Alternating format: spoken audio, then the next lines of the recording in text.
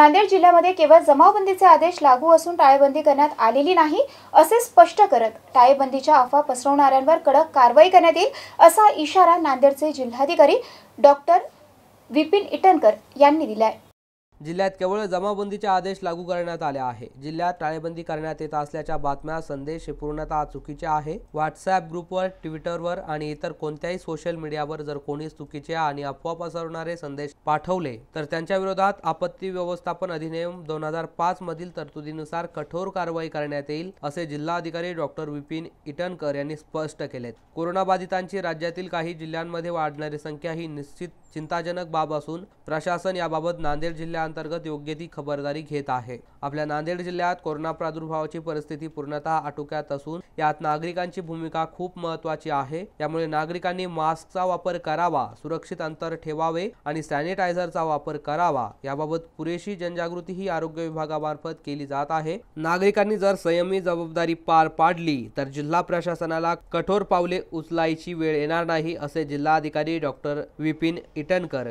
यांनी स्पष्ट केलेत.